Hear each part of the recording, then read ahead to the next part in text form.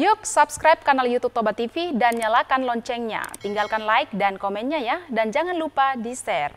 Jalan provinsi yang menghubungkan Kecamatan Silain menuju Kecamatan Parsoburan, Kabupaten Toba, Sumatera Utara, nyaris putus total pada Sabtu 25 September malam, tepatnya di Desa Napitupulu, Kecamatan Silain. Beginilah kondisi jalan provinsi yang nyaris putus. Menurut penuturan warga, jalan ini putus akibat hujan deras yang mengguyur daerah itu pada Sabtu malam. Saat itu satu unit truk pengangkut kayu sedang melintas dan jalan tersebut langsung ambruk.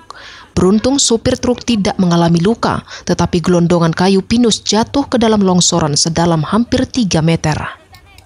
Akibat kondisi jalan yang ambruk, jalan menuju Parsoburan hanya dapat dilalui kendaraan minibus, sedangkan kendaraan berukuran besar seperti truk dan kendaraan lainnya tidak dapat melintas.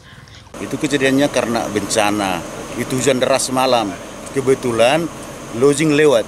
Lodging lewat, Pak. Lodgingnya itu jatuh. Jatuh sama, jadi sama muatannya. Ada korban jiwa nggak, Pak? Tidak ada. Udah berapa lama ini, Pak, jalannya, Pak?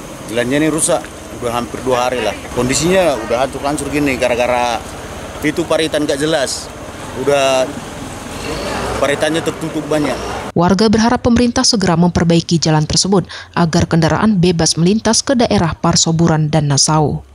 Dari Kabupaten Toba, tim Toba TV melaporkan.